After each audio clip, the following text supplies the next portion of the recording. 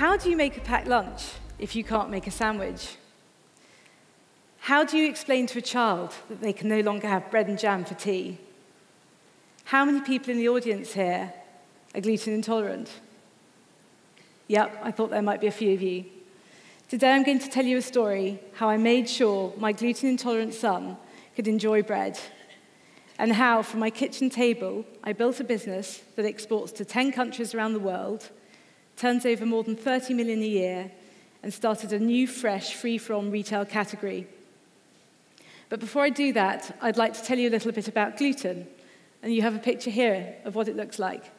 It's a protein found in foods containing wheat, rye, and barley, such as cakes, biscuits, and bread, pizza and pasta, and even soy sauce.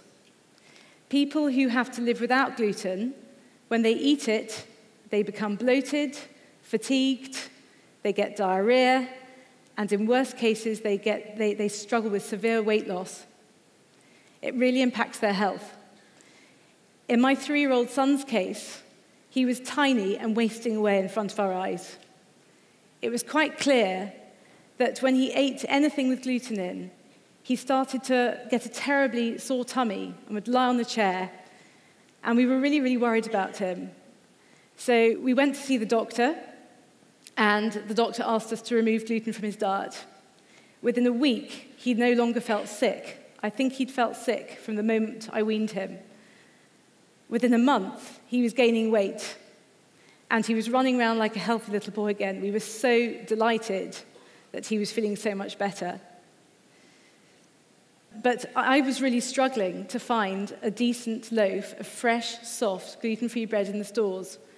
It didn't seem to exist. The bread on the, on the, in the supermarkets at the time was hard, dry, and crumbly, and you had to microwave it or toast it to make it edible. Living without sandwiches was really hard. A picnic in the park became difficult. Traveling became awkward. And parties became very isolating for Robin. As his mum, I refused to make do. I resolved that somehow I was going to come up with a loaf of bread that tasted soft and was perfect for sandwiches. It was going to be a real challenge, and why was that? Well, wheat bread is made with four ingredients wheat flour, water, salt, and yeast.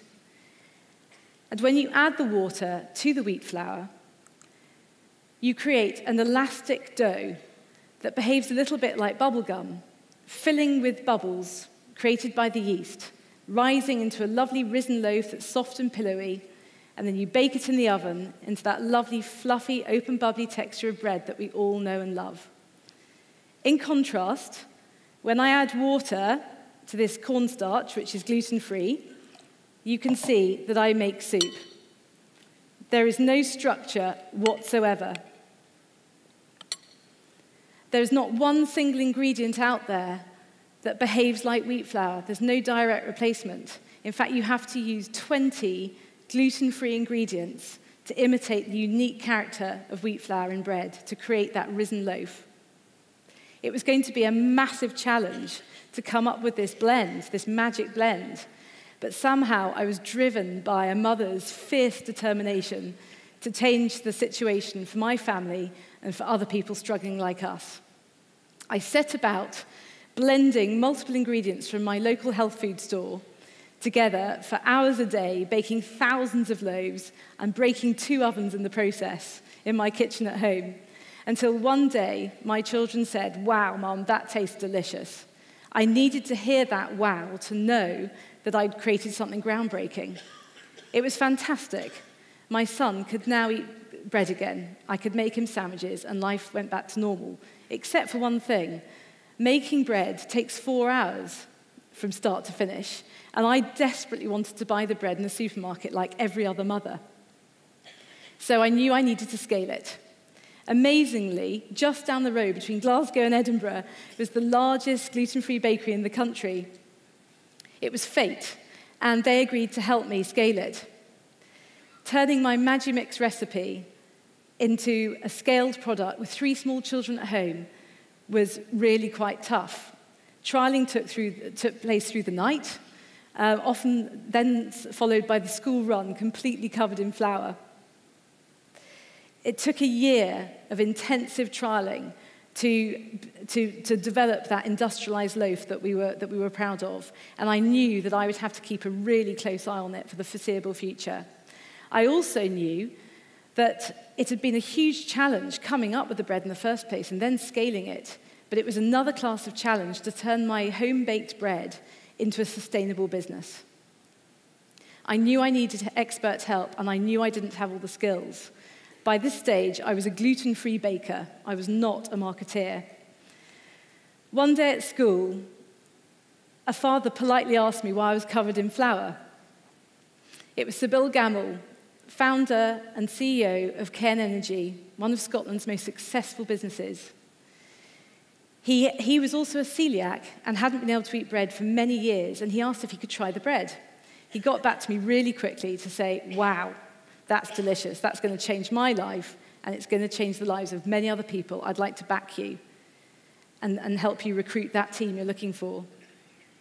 Trying to prove the market opportunity to attract the team was quite difficult because there was no data. Fresh gluten free bread didn't exist.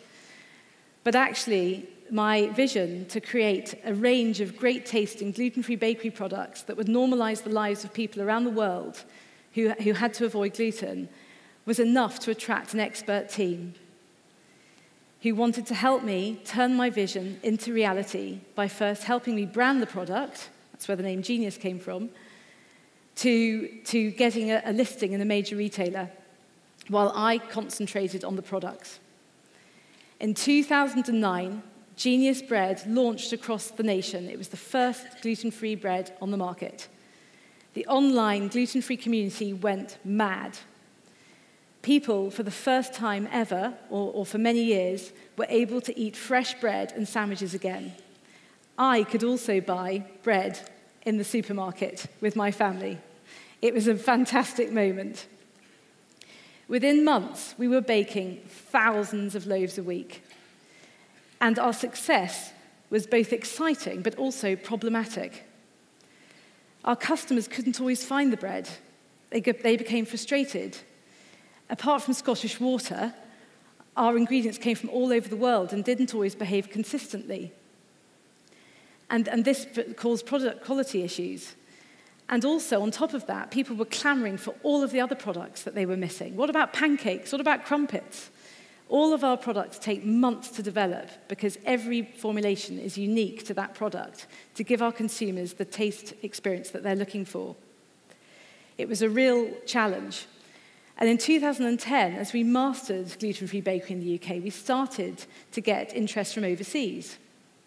A baker in Canada got in touch and said, I'd like to manufacture your bread and distribute it across um, the US market.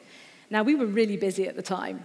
And the, we, we really probably should have politely declined. But actually, we decided to be able to take the bread to a market six times greater than the UK was just a huge opportunity. So we went for it. And I was floored yet again by ingredients behaving inconsistently as I scaled up to launch. Just as the bread gained traction in the market, we, um, we, we had a bit of a problem because our, great, our largest US competitor bought the bakery. We had to pull out, it was a real blow. But actually, by this stage, we'd learnt so much about manufacturing ourselves, we decided to become manufacturers. In 2013, Genius transitioned overnight from a product development and marketing company of 20 people to a manufacturing business of 300. To many people, that would be a horrifying thought, but to us, it was a huge relief to be finally in charge of our product quality, our innovation, our IP, and to be able to get our products confidently to our consumers across the world. It's mind blowing to think that a large export business, easing the lives of millions of people around the world, emerged from my kitchen at home as a result of genuine family need and as a result of the commitment and expertise of everyone that's been on the genius journey with me. It's also interesting that 98% of businesses in Scotland are small as a nation, we really struggle to scale our businesses. If 1% of the Scottish businesses added £10 million to their turnover, they would collectively add 3.6 billion to the Scottish economy. Imagine the impact. I've told you my story today because I wanted to demonstrate that if I can start a business from my kitchen, then there are many company owners here that can do the same thing if they follow three key ingredients. Leave your ego at the door and get a great team around you. Be brave and export. And talk to your customers and innovate in line with their needs. Every small business on a mission has the potential to be a global market leader. Thank you.